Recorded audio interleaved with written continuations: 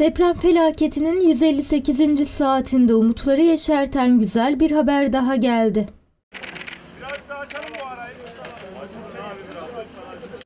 Enkaz altından 63 yaşındaki Hafsa Dağcı sağ olarak kurtarıldı.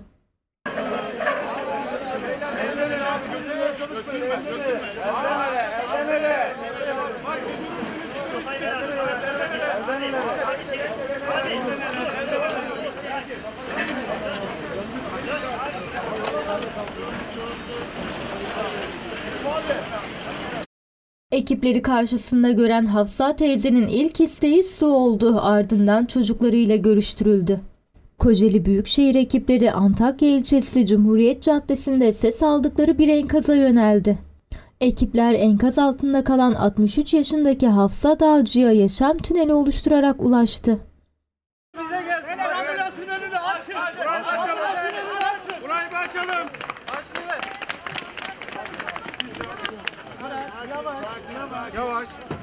Yaşlı kadına ulaşan ekipler ona ilk isteğini sorduğunda yaşlı kadın su istedi. Hem kurtarma çalışması hem de yaşlı kadınla yapılan konuşma esnasında çocuklarıyla konuşmak istemesi üzerine ekipler Hafsa teyzenin çocuklarını arayıp görüntülü olarak görüştürdü.